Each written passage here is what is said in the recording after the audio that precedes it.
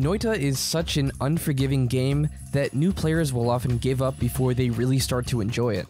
My goal for this video is to pack as many helpful tips as I can into a less than 5 minute video and help new players understand this awesome game. This guide is separated into two main parts, general tips and wand building. Once you've mastered both of these aspects, you'll finally be on your way to dominating your runs and becoming a Noita god.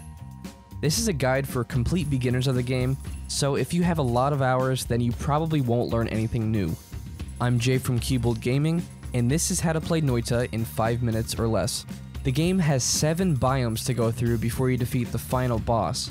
At the end of each main biome, there's a portal that leads to a safe zone between each area called the Holy Mountain. In the Holy Mountain, you can actually edit your wands, which I'll go into detail about later on. At the start of each Holy Mountain, there's a heart pickup that refills your health and a green pickup that will refresh all consumable spells.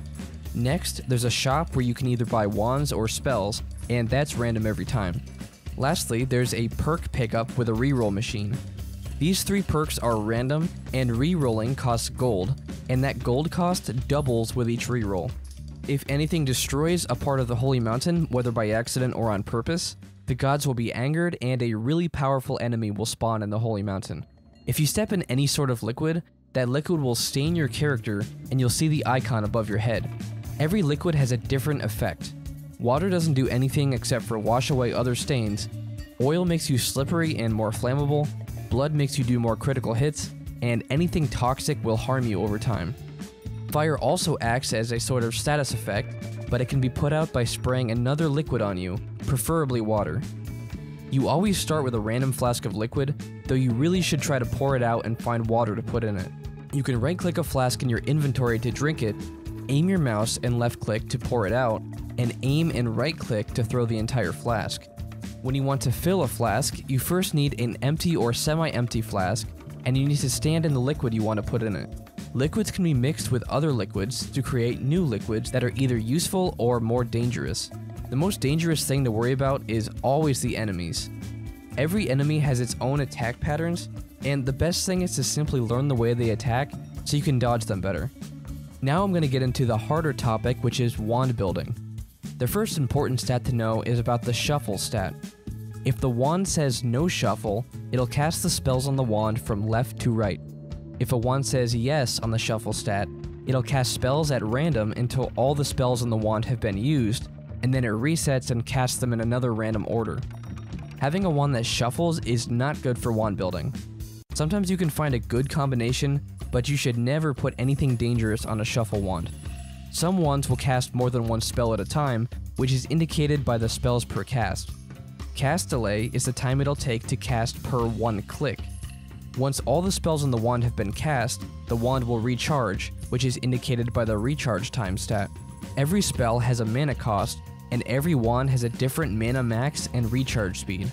The further you go into the world, the more likely you are to find wands with low recharge speeds and high mana. If the wand can't handle the mana for the cost of spells you have, it simply won't cast the spells. The Chainsaw spell is one of the most useful spells in the game since it has a low mana cost and it completely removes cast delay and reduces the recharge time.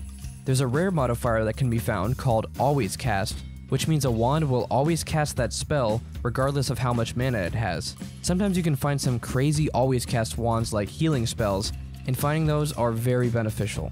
If you ever get confused as to what spells are being cast, you can look above the shop and it'll show you exactly what's happening. Also, a great way to test the damage of your wand is to shoot the statues in the Holy Mountain, but be careful when using any destructive spells in there. By default, there are close to 400 spells that need to be unlocked. Every spell is unlocked by a different method, but the easiest way to get a few is to find the hidden orbs around the world. There are also a ton of hidden quests to do that will unlock multiple spells each time you finish them.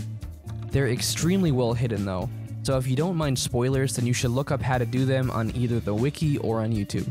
And that's how you play Noita in 5 minutes or less. I know this was extremely basic and rapid fire, but eventually I want to make a long video on wand building and more advanced strategies. There are also a couple of other Noita videos I made in the past, so you should definitely check those out if you want to learn more. If this video was helpful, leave a like and subscribe to the channel. Thanks for watching, we'll see you in the next video.